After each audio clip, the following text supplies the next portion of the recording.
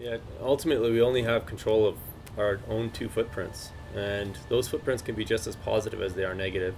And that's a dialogue, that's a story that's not being told in our society. And, and there's some small murmurings right now about being neutral, like net neutral housing and xeriscaping, but nobody's really talking about how positive we can be.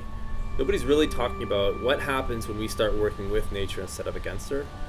And this project has really showcased the, the strength of working with that partnership for us. For me, it, it really comes, one of the fundamental reasons is our children.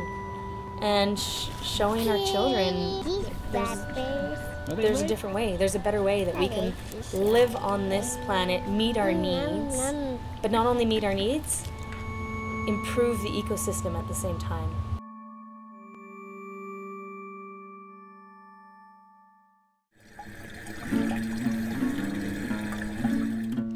We really wanted to make sure we harvested every last drop on the site. So we built a rain tank that I'm standing on right now, which is built into the patio, so that we could harvest the rain coming off of this outdoor kitchen roof, as well as this rear hip roof right here.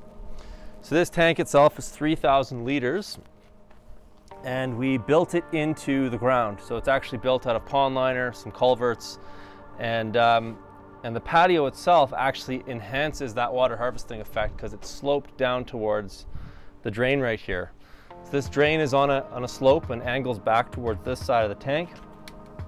The main reason for wanting to store this water is we noticed that our passive solar greenhouse was consuming an enormous amount of, of city water on an annual basis. So we really wanted to try and reduce that or eliminate it if, if possible. And this year we haven't had to use a drop of city water for the passive solar greenhouse. So this little sump pump gets turned on when we need it. And it uh, pressurizes this little green hose that's coming out of the tank, which brings the water around into the greenhouse where we water our, our wicking beds. So on this side of the house, we have about another 20,000 liters that comes off this roof annually.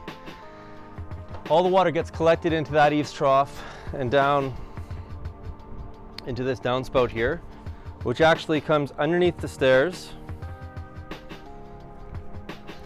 and into this feature, which most people just walk right by. They don't even realize that's a, there's a little micro pond right here. It's actually a tire pond. And out of it, we've got some wetland plants that we've collected from around the bioregion. And the beautiful thing with wet, wetland plants is that they naturally clean the water. They provide weed-free mulch, which can go straight on the garden at the end of the year. Um, but also we've noticed that there's all sorts of beneficial insects that will go in and actually come in for a drink. So we really wanted to create a good environment for the beneficial insects in our garden. This pond will overflow in a rain event and it overflows into the swale trail which I'm standing on right now. The swale trail also has a weeping tile going through the bottom of it and when this pathway gets too full overflows it actually comes out over the level sill spillway right down there. So the cistern right here has an overflow which is a little bit hard to see but it comes out of the bottom of the tank with a standpipe. Standpipe sets the level of the water in the tank and it overflows through this pipe on this side of the, the step right here. And it actually comes under this pathway. So we built a catch basin, which is basically just a complicated word for a hole in the ground that was level with a swale going through the garden here. And you'll notice that the, uh, the catch basin actually has a little weeping tile sticking out of it right here. And this is where that overflow gets harvested. We've also got the overflow from this swale coming over top of this concrete wall right here, which gets picked up in the same catch basin.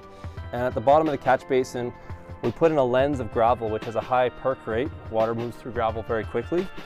And in that lens of gravel, we put some perforated weeping tile into it. And that perforated weeping tile will pick up all that water and run it at the bottom of the swale trail all the way through this garden here. So again, we're getting that infiltration of water at a very low level, which is encouraging the plant roots to go down. And the path itself, because it's made out of mulch, stores an enormous amount of water uh, in the wood itself. Over the years, we've noticed that these paths are basically worm farms. Um, I've never seen so many worms in any one place as in these swale trails. So we're actually propagating worms.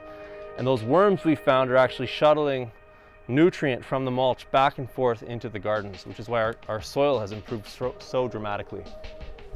The last place we're bringing water into this garden comes from the west side of the garage. So it comes down this downspout right here and it enters into this weeping tile, which is the exact same weeping tile as on the other side of the lower tier of this garden. So this will receive another 15 to 16,000 liters of water annually. These gardens pretty much do not get any City of Calgary water at all. Um, they're totally passively irrigated by rainwater. And one of the things people don't realize about rainwater is that rainwater actually uh, is where we get about 50% of the nitrogen in our ecosystem because of the interaction with lightning and, and water itself. So it's not just getting hydrated, it's actually getting nutrients as well.